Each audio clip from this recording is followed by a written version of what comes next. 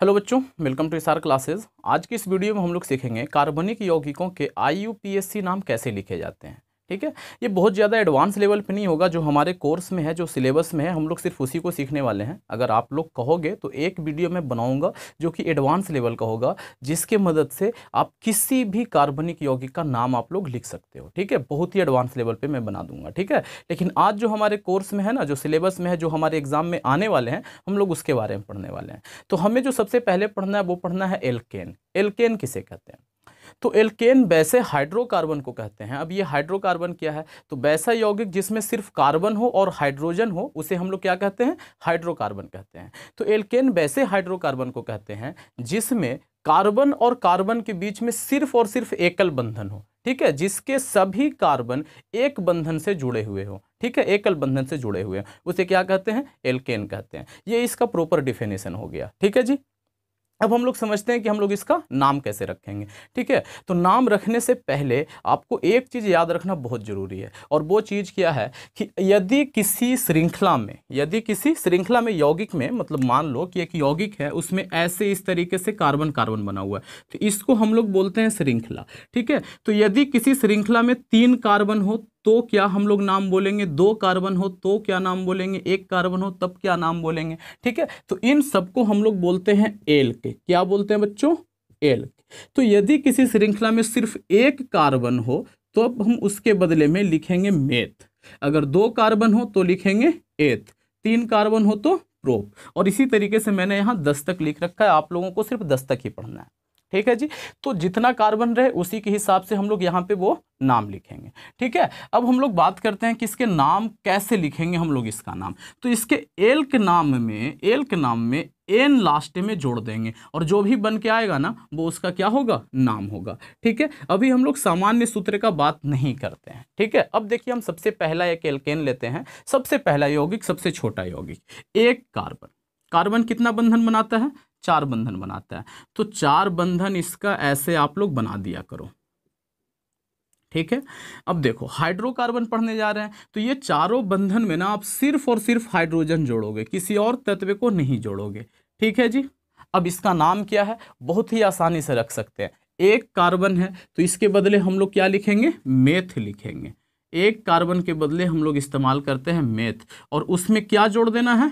N तो देखिए, जब दोनों का संधि करेंगे तो क्या बनेगा? मेथेन ठीक है बच्चों? बहुत ज़्यादा टफ नहीं था। अब देखिए हम लोग अगला लिखते हैं। ये देखिए, दो कार्बन ले लेते हैं और दोनों कार्बन को सिंगल बंधन के द्वारा जोड़ना है। यही शर्त है एल्केन का। ठीक है, कि किसी भी श्रृंखला में, कोई भी श्रृंखला, उसमें कार्बन और कार्बन के बीच में बंधन कैसा होना चाहिए? सिंगल बंधन होना चाहिए। ठीक है, अब देखिए बाकी का जो बच गया, जो बंधन बच गया, एक कार्बन चार बंधन बनाता है ना तो ये कार्बन देखो एक बंधन बना चुका है तो तीन बंधन और बनाएगा, ये कार्बन भी एक बंधन पीछे बना चुका है तो मतलब तीन बंधन और बनाएगा। इन सारे बंधनों में आप हाइड्रोजन जोड़ दीजिए, इसे कहते हैं हाइड्रोकार्बन। ठीक है? वैसा यौगिक जिसमें सिर्फ़ कार्बन हो और हाइड्रोजन हो, हाइड्रोकार्बन कहलाता है। अब इसका नाम क्या होगा? दो कार्बन है, हम लोग लिस्ट से देखेंगे कि दो कार्बन के बदले में क्या नाम रखना है। तो दो कार्बन के बदले में रखते हैं एथ, और इसमें क्या जोड़ेंगे? एन। तो जब एक साथ इसका संधि करेंगे तो इसका नाम क्या पड़ेगा? एथेन। ठीक है बच्चों? कोई टफ नहीं है, बहुत ही ज़्यादा आसान है। किसी भी यौगिक का नाम लिख सकते हो, दस कार्बन तक, ठीक है? दस से ज़्यादा तक आप लोगों को पढ़ना नहीं है, इसलिए मैंने यहाँ पे लिखा नहीं है, ठीक है? हम लोग आगे देखते हैं, कुछ अच्छे एग्ज़ाम्पल करते हैं। अच्छा एग्ज़ाम्पल का मतलब क्या सब तो आसान ही है, ठीक है? देखिए, एक एग्ज़ाम्पल लेते हैं कि यहाँ पे पाँच कार्बन है, इस तरीके से आपस में जुड़ा हुआ। बाकी सबको आप कैसे लिख सकते हो? ये रहा हाइड्रोजन फिल कर दीजिए सब में। ये समझ में आ रहा है आपको? देखिए, ये एक कार्बन है। इसका दो बंधन पहले से बन चुका है। ये ये वाला कार्बन। एक बंधन पीछे, एक बंधन आगे। तो दो बंधन और बनाएगा तो एक हमने नीचे बना दिया और एक ऊपर बना दिया और हाइड्रोजन जोड़ दिए उसमें। ठीक है? इसके साथ भी वही हाल था। इस कार्बन का सिर्फ़ एक ही बंधन बन रखा है ये। तो ये तीन बंधन और और बनाएगा क्योंकि टोटल चार बंधन बनाना है। ठीक है जी? अब देखिए यहाँ पे। इसका नाम क्या रखेंगे? तो एक, दो, तीन, चार, पाँच। पाँच कार्बन है तो यहाँ से क्या नाम रखाएगा? पेंट। लिख दिया, पेंट। और लास्ट में क्या जोड़ना है? एन। तो इसका नाम क्या होगा? Pentane. ठीक है बच्चों? अब देखिए, इसी चीज़ को कभी कभी बुक में क्या लिखता है? इस कार्बन को आप लोग देखो, इस कार्बन को। यहाँ पे क्या है? सी। इस कार्बन के साथ कितने हाइड्रोजन जुड़ रखे हैं? One, two, three. तीन हाइड्रोजन तो लिखेंगे सी एच थ्री सिंगल बंधन है तो लिखेंगे सिंगल बंधन। फिर कार्बन है तो लिखेंगे सी कितना हाइड्रोजन जुड़ रखा है? दो तो लिखेंगे सी एच टू फिर कार्बन है, हमने लिखा कार्बन। दो हाइड्रोजन है उसके साथ तो इसके साथ भी लिख दिया सी एच टू यहाँ फिर से कार्बन है तो सी लिखा, इसके साथ भी दो हाइड्रोजन है, लिखा सी एच टू यहाँ पे कार्बन है, कार्बन लिखा, इसके साथ तीन हाइड्रोजन है। वन टू थ्री ये देखिए, तीन। तो आप या तो ऐसे लिख लो या ऐसे लिख लो, बात एक ही है, दोनों का नाम क्या होगा? पेंटेन ही होगा। ठीक है बच्चों तो इसी तरीके से देखिए, एक और एग्जांपल करते हैं, चार कार्बन को आप इस तरीके से जोड़ दीजिए। ठीक है जी, अब देखिए मैं यहाँ पे इस तरीके से लिखूँगा, क्योंकि ऐसे लिखने में बहुत ज़्यादा टाइम लगता है। यहाँ पे तीन हाइड्रोजन जुड़ेगा। कैसे? तो इस कार्बन का सिर्फ़ एक बंधन बना हुआ है। किसके साथ? ये वाले कार्बन के साथ। ये देखो, लिखना सिखा रहा हूँ। इस कार्बन के साथ, इस कार्बन का सिर्फ़ एक बंधन बना हुआ मतलब तीन बंधन और बनेगा तो तीन बंधन किसके साथ बनेगा? हाइड्रोजन के साथ। तो तीन हाइड्रोजन। एक हाइड्रोजन एक बंधन बना सकता है। तो तीन बंधन बनाने के लिए कितना हाइड्रोजन चाहिए? तीन हाइड्रोजन चाहिए। हमने तीन लगा दिया। अब देखो इस कार्बन को देखो। इसका दो बंधन बन रखा। एक इस तरफ़ और एक पीछे। मतलब दो बंधन और बनाएगा। तो कितना हाइड्रोजन चाहिए इसको? एक हाइड्रोजन एक बंधन बनाता है। देखिए, ये हाइड्रोजन कितना बंधन बना रहा है? एक। तो दो बंधन बनाने के लिए कितना हाइड्रोजन चाहिए? दो हाइड्रोजन। तो इसमें लगा दो सी एच टू समझ में आ रहा है आप लोगों को? यहाँ देखिए, यहाँ पे इस कार्बन का भी दो बंधन बना हुआ है। तो दो और बनाना है, दो हाइड्रोजन चाहिए। इस कार्बन का सिर्फ़ एक बंधन बन रखा है पीछे की ओर मतलब तीन और बनाएगा। तो कितना हो जाएगा? तीन हाइड्रोजन। ठीक है? आपको ये समझ में आ गया कैसे करते हैं? अब इसका नाम रखेंगे। तो चार कार्बन के लिए हम लोग किस चीज़ का इस्तेमाल करते हैं? ब्यूट का। तो हम लिखेंगे ब्यूट। और इसी में क्या जोड़ना है? एन। तो बार बार आप ऐसे संधि नहीं करोगे, ठीक है? एक ही बार में एन जोड़ोगे ना तो ये ए हो गया और ये हो गया ना। तो क्या बन गया? ब्यूटेन। ठीक है बच्चों? इतना समझ में आ गया। बहुत ही इजी था ये। अब हम लोग थोड़ा सा और अच्छा सवाल करते हैं इसमें। तो थोड़ा सा और अच्छा सवाल करने के लिए हमें एक और काम करना पड़ेगा।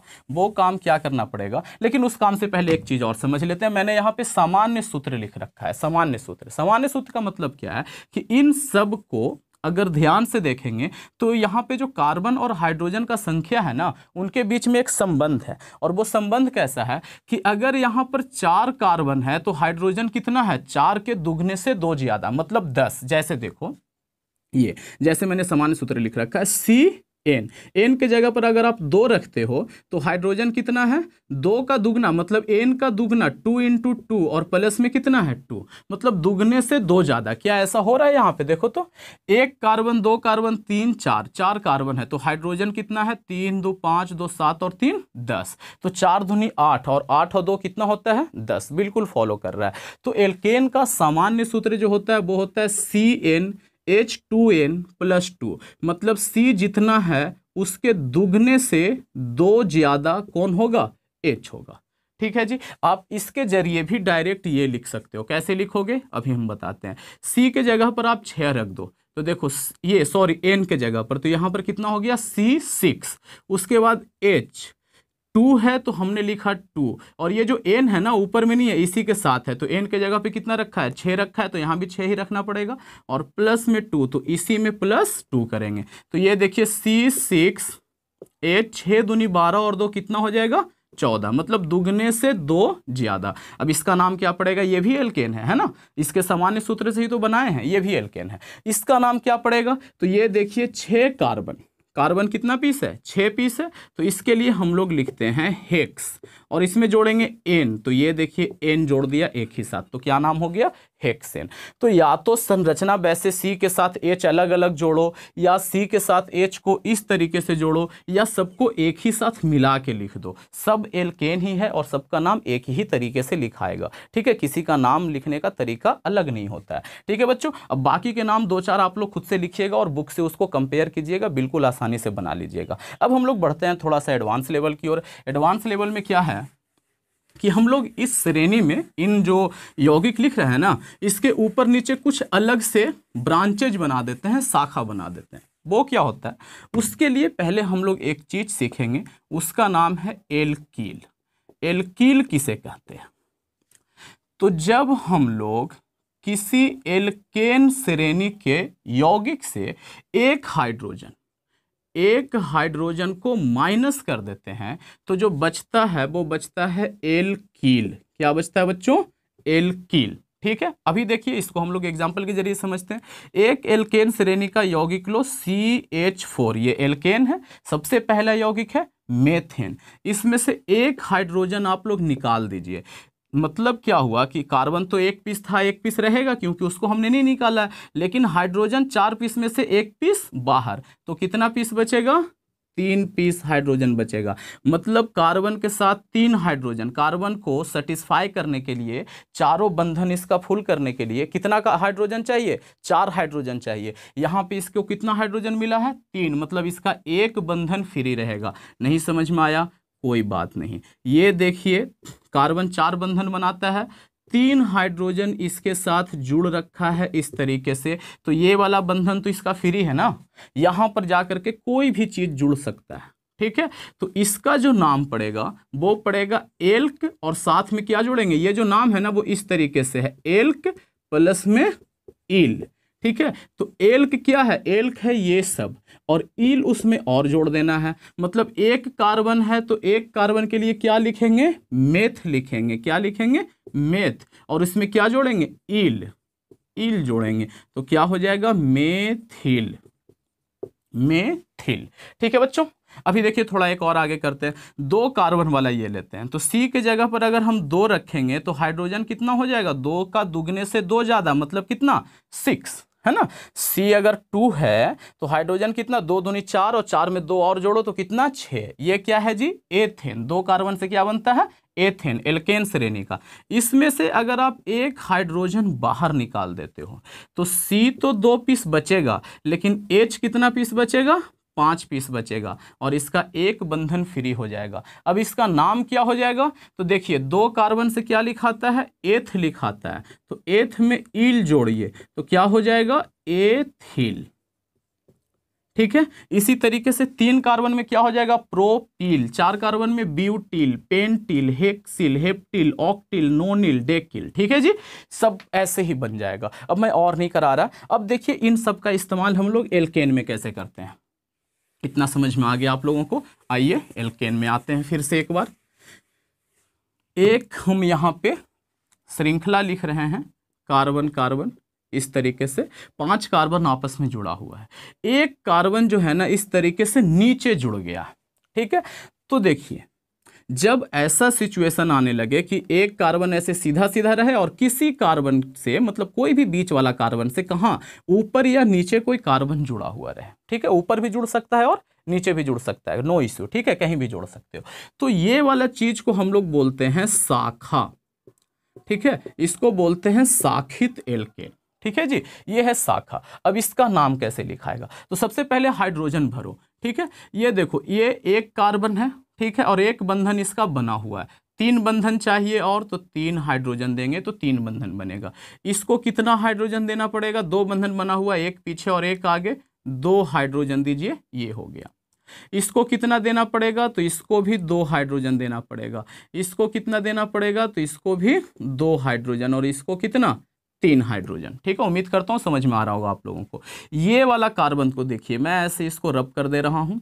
इस कार्बन का कितना बना हुआ है बंधन? एक बंधन ऊपर वाले कार्बन के साथ। सॉरी यहाँ पे दो नहीं पड़ेगा, यहाँ पे एक ही हाइड्रोजन पड़ेगा। कैसे पड़ेगा? देखो, ये कार्बन जो है, इसके साथ मतलब कितना बंधन बना हुआ है? तो एक बंधन इस तरफ़, एक बंधन नीचे, एक बंधन इस तरफ़। तीन बंधन बन चुका है। तो यहाँ पे एक ही बंधन न चाहिए। तो एक हाइड्रोजन दे दीजिए, एक बंधन बन जाएगा, चार बंधन हो गया। इसको देखिए, इसका सिर्फ़ एक बंधन बना है ऊपर। तो इसको कितना हाइड्रोजन चाहिए? तीन हाइड्रोजन अब इसका नाम हम लोग कैसे लिखेंगे? तो इसका नाम लिखने का तरीका यह है बच्चों कि आप सबसे पहले कार्बन और कार्बन का सबसे लंबा श्रृंखला ढूंढोगे। सबसे लंबा श्रृंखला। मतलब क्या? ऐसे देखो ये। एक श्रृंखला बनाओगे। इसमें कितना कार्बन है? एक, दो, तीन, चार, पाँच कार्बन। ठीक है? इससे लंबा श्रृंखला हो सकता है क्या? श्रृंखला का मतलब क्या है कि कार्बन कार्बन को पकड़ते हुए अगर आप आगे बढ़ो तो क्या ऐसा कहीं पर यह है सीरीज़ में जुड़ा हुआ कार्बन है जो इस जिसमें छः कार्बन जुड़ा हुआ हो या सात कार्बन जुड़ा हुआ हो? ज़्यादा से ज़्यादा कितना कार्बन इसमें जुड़ा हुआ रहेगा? पाँच कार्बन। अभी और अच्छे से समझ में आएगा। देखिए, एक श्रृंखला इसमें और है। वो श्रृंखला कौन सा है? ये। ये श्रृंखला। ये भी तो श्रृंखला है ना, कार्बन कार्बन का। इसमें कितना कार्बन है? एक, दो, तीन, चार, पाँच कार्बन। ठीक है? तो कहोगे, सर, इसमें भी पाँच है, वो वाला में भी पाँच था, कौन लेंगे? तो सबसे लंबा लेना है, कोई भी ले लो, ये भी ले सकते हो, और ऊपर वाला जो ऐसे घेरे थे, वो भी ले सकते हो। तो जब श्रृंखला बराबर कार्बन का हो तो मेरा यही सुझाव है आप लोगों से कि आप क्या लो सबसे लंबा वाला रहे ना तो ऐसे सीधा एक श्रृंखला आप लोग बना लो और उसको घेर लो। अब इसका नाम लिखना है। तो नाम लिखने से पहले ना, कार्बन का नाम लिखना पड़ेगा और नाम नहीं, नंबर लिखना पड़ेगा। तो नंबर हम कार्बन को कहाँ से दे सकते हैं? इस तरफ़ से लिख सकते हैं। एक, दो, तीन, चार, पाँच। ये हमने इस तरफ़ से लिखा, ठीक है? तो आप लोग कहोगे, सर, इधर से भी तो लिख सकते हैं। एक, दो, तीन, चार, पाँच। ठीक है, कार्बन को हम लोग नंबर दे रहे हैं। तो किसका, कौन सा नंबर हम लोग लेंगे? इस तरफ़ से दिया हुआ नंबर लेंगे या इस तरफ़ से दिया हुआ नंबर लेंगे? तो बच्चों, इसका एक बहुत ही सिंपल सा, साधारण सा इसका आंसर है कि हम लोग वो वाला नंबर लेंगे जिधर से शाखा क्या हो, कम नंबर पे आ जाए। कम नंबर पे मतलब जिस कार्बन पे ये शाखा जुड़ा हुआ है, उस कार्बन का रोल नंबर जो है वो क्या हो? कम हो। रोल नंबर मतलब क्या? ये जो नंबरिंग दे रहे हैं, वो क्या हो? कम हो। देखो, इधर से जब हमने नंबरिंग दिया तो जिस कार्बन पे ये शाखा जुड़ा हुआ है, उसको कौन सा नंबर मिला? चौथा नंबर ठीक है? और जब हम लोग इधर से नंबर दे रहे थे तो फिर कार्बन, ये वाला कार्बन को कौन सा नंबर मिला? दूसरा नंबर। तो किस तरफ़ से देने पे कम नंबर मिला? इधर से दिए तो चार मिला, इधर से दिए तो दो मिला। तो इधर से कम मिला ना? तो ऐसे नंबरिंग नहीं करेंगे। किधर से करेंगे? इस साइड से करेंगे। अब इसका नाम लिखेंगे। नाम कैसे लिखाएगा? देखिए, ये वाला जो चीज़ है ना, अभी हम बताए थे। सी एच थ्री को क्या बोलते हैं? थोड़ा देर पहले अभी बताए थे। ये सी एच फोर में से एक हाइड्रोजन बाहर निकला था तो क्या बचा था? सी एच थ्री और इसको क्या बोले थे? इल मेथिल है ना? एक कार्बन से मेथ, और इल जोड़ते हैं। अगर एक हाइड्रोजन कम रहे तो इल जोड़ते हैं। तो क्या हो जाएगा? मेथिल तो लिखेंगे मेथिल और श्रृंखला में कितना कार्बन है? पाँच कार्बन। नंबर दिया हुआ है ना, पता चल जाएगा लास्ट वाला देख लो। कितना कार्बन है? पाँच कार्बन। तो पाँच कार्बन से क्या बनता है? पेंट। और ये है क्या सभी कार्बन के बीच में सिंगल सिंगल बंधन है तो एल्केन है तो एन जोड़ देंगे तो क्या हो जाएगा? मेथिल पेंटेन लेकिन बच्चों, ये अभी अधूरा है। अधूरा कैसे है? ये मेथिल का हमको जगह बताना पड़ेगा कि मेथिल कहाँ पे जुड़ा हुआ है। ठीक है जी? तो मेथिल के नंबर कार्बन पे जुड़ा हुआ है? दो नंबर पर। तो लिखेंगे दो मेथिल पेंटेन अब देखो, अगर ये लिखा हुआ रहे, गिनती का ये लिखा रहे, अंक लिखा रहे, ठीक है जी? तो अंक के बीच में और ये जो शब्द है, उनके बीच में हमेशा ये वाला चिन्ह लगाते हैं। ठीक है?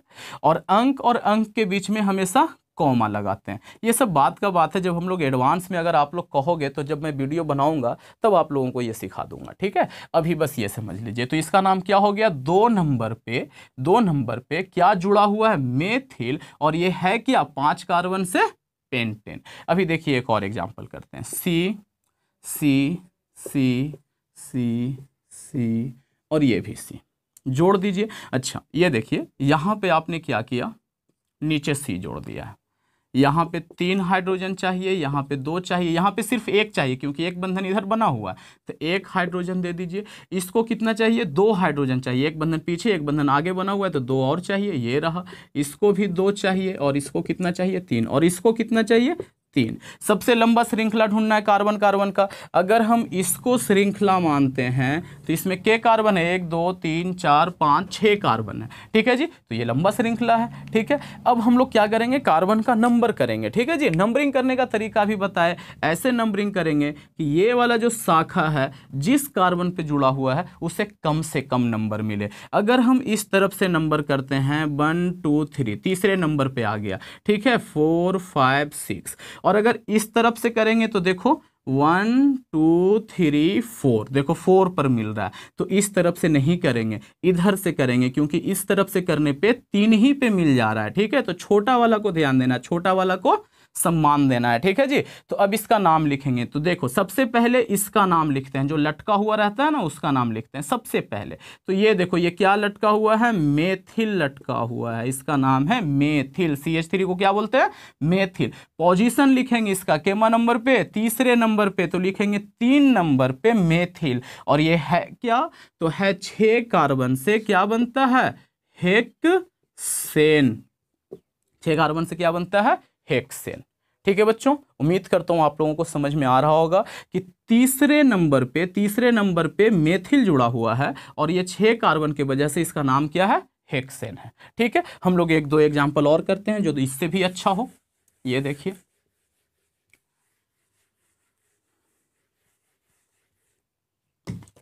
यहाँ देखिए।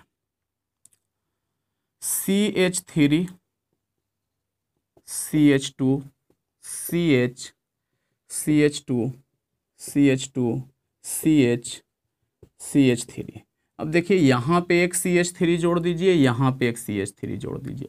है ना? ऐसा नहीं है कि सिर्फ़ एक ही पीस जोड़ सकते हैं। यहाँ पे देखिए, दो शाखा बन रखा है। एक पेड़ का दो डाली नहीं होता है क्या? ऐसे ही ये डाली बना हुआ है, शाखा बना हुआ है। कार्बन का लंबा श्रृंखला कौन सा होगा? ये होगा। ठीक है? आपके कोर्स के हिसाब से पढ़ा रहा हूँ बच्चों, ऐसा ना हो कि आपको लगे कि सर बहुत आसान आसान सा करा रहा है। तो आपको इतना ही आसान पढ़ना है, इससे ज़्यादा टफ नहीं पढ़ना है, ठीक है? यहाँ देखिए। अब इसका नाम लिखना है। ठीक? तो देखिए, शाखा कहाँ पे है? एक ये शाखा है, सबसे पहले आप इसको सर्कल कर लो और पहचान लो। अब कार्बन का नंबर करेंगे, तभी हम लोग नाम लिख पाएँगे, ठीक है? क्योंकि शाखा का नंबर लिखना होता है। तो नंबर करने का दो रास्ता है, एक तो आप इस तरफ़ से करोगे, दूसरा इस तरफ़ से करोगे। अगर इधर से करते हैं तो ये शाखा जो है, वो तीसरे नंबर पर मिलता है। और अगर इधर से करते हैं तो ये भी तो शाखा ही है ना? और ये कौन से नंबर पे मिल जाता है? दूसरे नंबर पे ही मिल जाता है। तो इधर से तीसरा नंबर पे मिल रहा है तो तीसरा वाला नहीं चाहिए हमको, छोटा चाहिए, ठीक है? तो दूसरे नंबर पे ये ले लिया, तीन, चार, पाँच, छ, सात। ठीक है बच्चों, समझ में आया? इधर से जब नंबरिंग किया तो ये तीसरे नंबर पे पड़ रहा था, ये शाखा है तो ये भी तो शाखा ही है। इधर से किया तो ये दूसरे नंबर पे पड़ रहा था तो इसको ले लिया, ठीक है? अब देखिए इसका नाम कैसे लिखाएगा। तो दूसरे नंबर पे है और पाँचवें नंबर पे है, कौन? मेथिल। तो लिखेंगे ऐसे कि दूसरे नंबर पे और पाँचवें नंबर पे। कौन है भाई? बताए हैं कि अंक और शब्द के बीच में क्या लिखते हैं? ये हाइफन का चिन्ह देते हैं। तो क्या है? मेथिल है। ठीक है? और ये है क्या? सात कार्बन के वजह से, सात कार्बन के वजह से क्या हो जाएगा? हेप टेन तो क्या ये पूरा हो गया? नहीं, अभी ये अधूरा है। अधूरा कैसे है?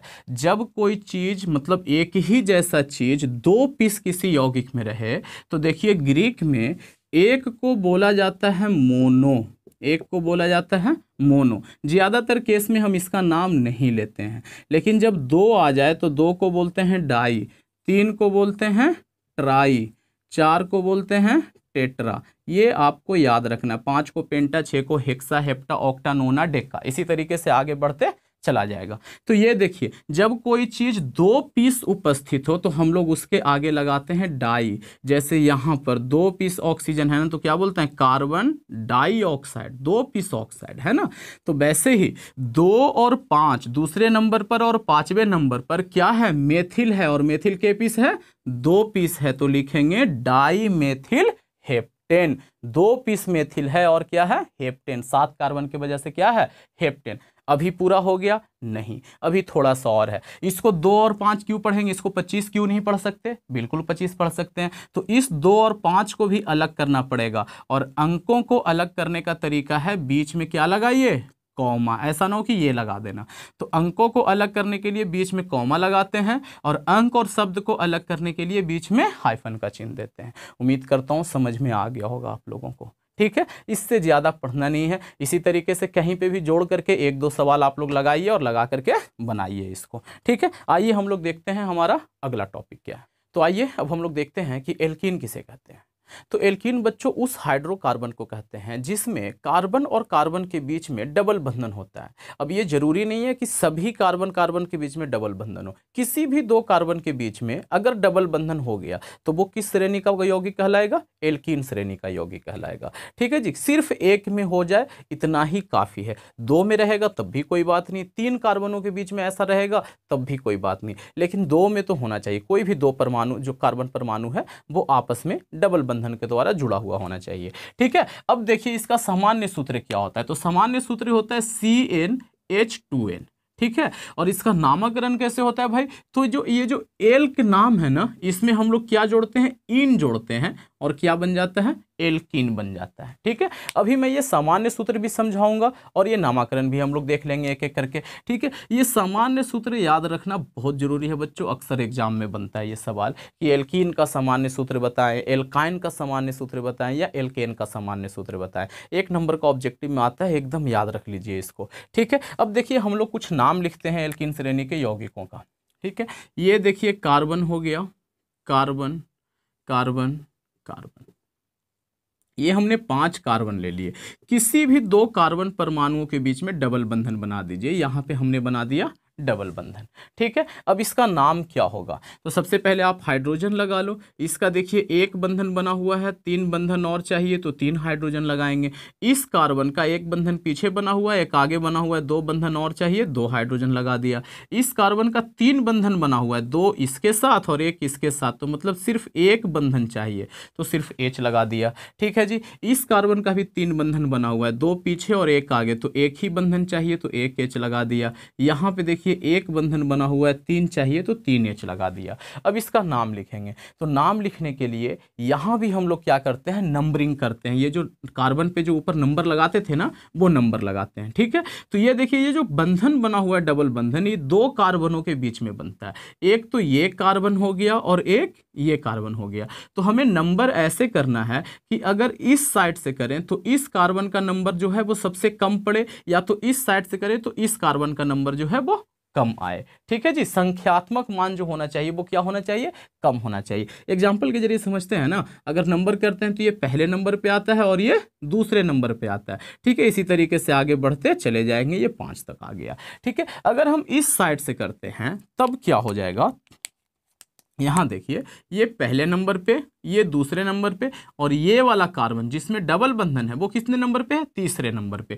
इस तरफ़ से किया तो दूसरे नंबर पे, इस तरफ़ से किया तो तीसरे नंबर पे। ये दोनों कार्बन एक ही है क्योंकि ये दोनों जो है वो डबल बंधन से जुड़े हुए हैं, ठीक है? तो अगर हमने इस तरफ़ से किया तो छोटा नंबर मिला, इस तरफ़ से किया तो तीन जो है वो क्या है? दो से बड़ा है तो बड़ा नंबर मिला। तो ये ऐसे हम लोग नंबरिंग नहीं करेंगे, नंबरिंग ऐसे करेंगे।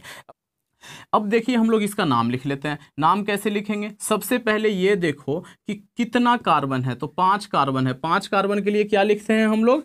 पेंट लिखते हैं। ये लिख दिया पेंट। और इसमें क्या जोड़ना है?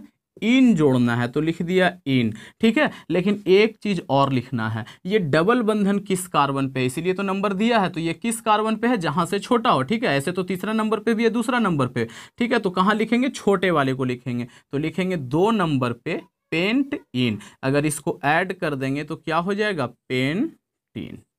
ठीक है जी? दूसरे नंबर पे क्या हो गया? पेंटिन हो गया। ठीक है? अगर इसी को हम यहाँ से शिफ्ट करके यहाँ कर दें, तब भी ये क्या है? दूसरे नंबर पे पेंटिन रहेगा। ठीक है? देखिए, नंबरिंग बस हमारा क्या हो जाएगा? चेंज हो जाएगा। One, two, three, four, five. ठीक है? इस तरफ़ से करते तो तीसरे नंबर पे आता। तो अभी भी इसका नाम क्या है? दो नंबर का पेंटिन तो आप लोग कहोगे, सर, यौगिक तो अलग अलग बन रहा है, नाम एक ही कैसे हुआ? ठीक है? तो बच्चों, यौगिक अलग नहीं है। इसको ऐसे पकड़ के ऐसे पलट दो। पलट दोगे तो क्या हो जाएगा? जो पिछला हमने एग्ज़ाम्पल ले रखा था, वो बन जाएगा। ठीक है? तो वही यौगिक है। हमने इसको क्या किया है? सिर्फ़ इस तरीके से पलट दिया है। ठीक है? हम लोग देखते हैं, एक दो नाम और लिखते हैं।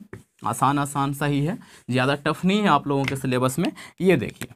हमने ले लिया तीन कार्बन ले लिया है और इसके बीच में डबल बंधन लगा दिया, ठीक है? तो इसका देखो दो बंधन बन गया।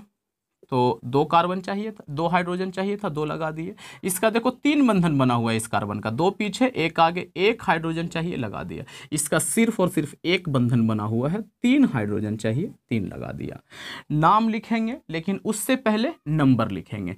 देखो, ये कार्बन डबल बंधन से जुड़ा हुआ है और ये कार्बन डबल बंधन से जुड़ा हुआ है। नंबर हमें ऐसे ही स्टार्ट करना है कि कम से कम नंबर मिले डबल बंधन से जुड़े कार्बनों को। तो अगर इसी से चालू कर दे तो पहला नंबर पे ही मिल जाएगा ना। तो बिल्कुल इधर से ही चालू कर दीजिए। दो हो जाएगा ये, क्या हो जाएगा? तीन हो जाएगा। अगर आप इस साइड से करोगे तो इसको दूसरा नंबर मिलता है जो कि एक से बड़ा है। अब इसका नाम लिखेंगे। तो लिखेंगे एक नंबर पे क्या है भाई?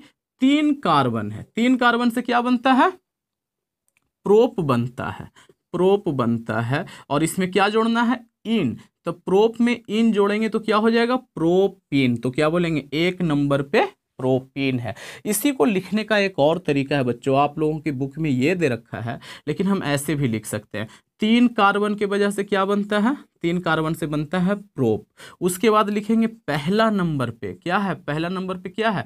इन है। ठीक है? तो बिल्कुल हम ऐसे लिख सकते हैं, ये भी हमारा बिल्कुल सही नाम है। Prop one yne. मतलब तीन कार्बन है इसमें और पहले नंबर पे क्या है? डबल बंधन है। इन देखते ही हम लोग क्या समझ जाएँगे? डबल बंधन है। ठीक है? अब देखिए, एक दो एग्ज़ाम्पल और कर लेते हैं। इसको मैं पूरे को रब कर देता हूँ। ये देखिए। हाइड्रोजन लिखने के लिए जगह ज़रूर बनाइएगा आप लोग। ये रहा। यहाँ पे हम डबल बंधन कर देते हैं। ठीक है? और ये करते हैं, यहाँ पे भी डबल बंधन कर देते हैं। अब देखते हैं क्या नाम होगा। ये देखिए, इसको तीन हाइड्रोजन चाहिए, तीन लगा दिया। इसका तीन बंधन बना हुआ है, सिर्फ़ एक हाइड्रोजन चाहिए। इस कार्बन का भी तीन बंधन बना हुआ है। दो पीछे, एक आगे। एक हाइड्रोजन चाहिए, लगा दिया। इस कार्बन का भी तीन बंधन बना हुआ है। दो आगे, एक पीछे, एक हाइड्रोजन लगा दिया। इसका भी तीन है तो एक ही लगाना पड़ेगा और इसका क्या हो जाएगा? C H three.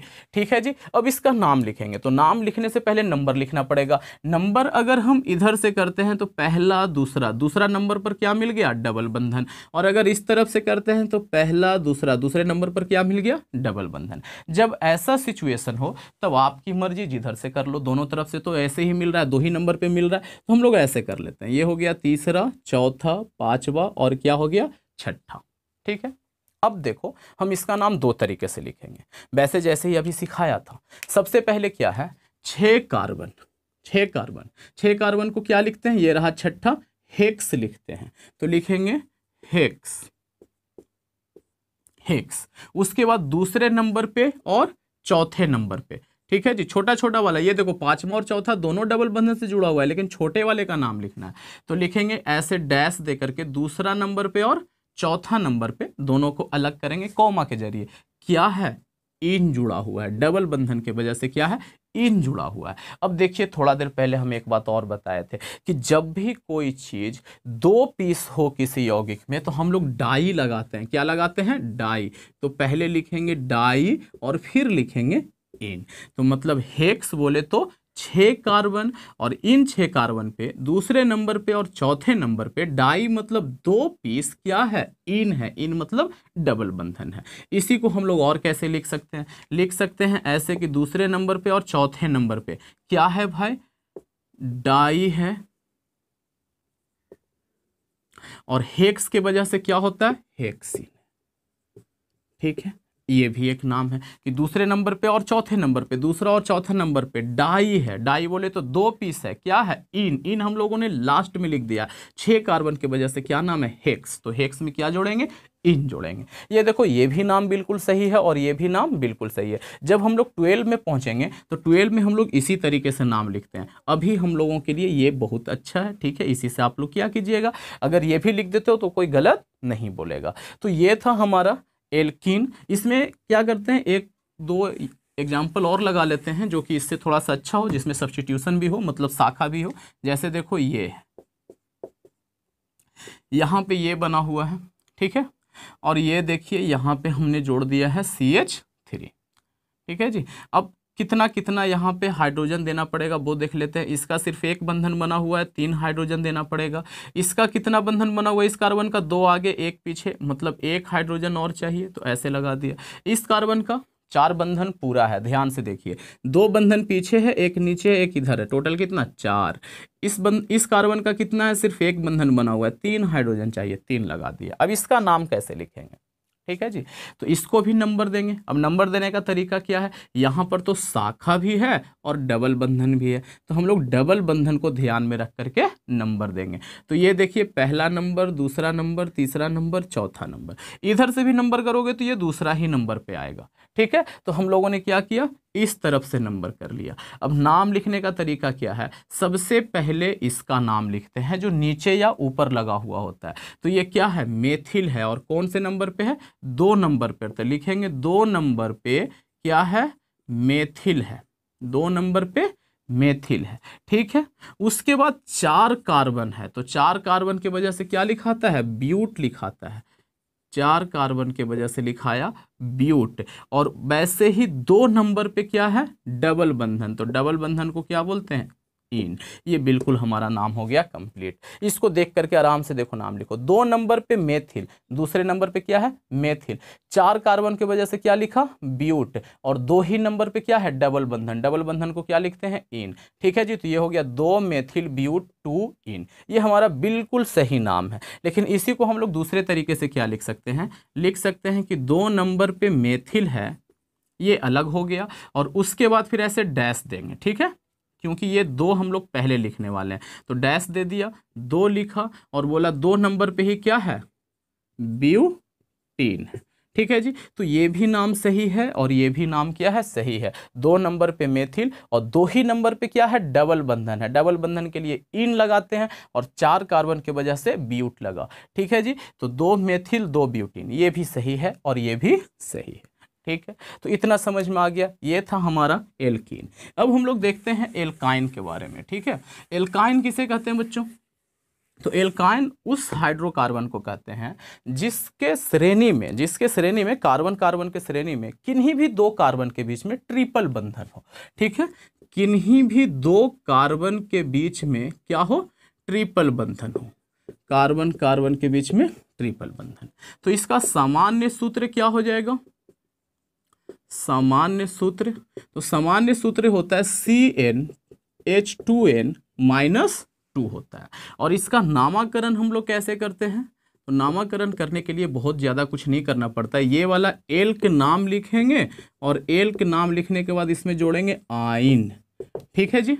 जैसे देखो, अगर दो कार्बन रहा, ये रहा कार्बन ट्रिपल बंधन ऐसे।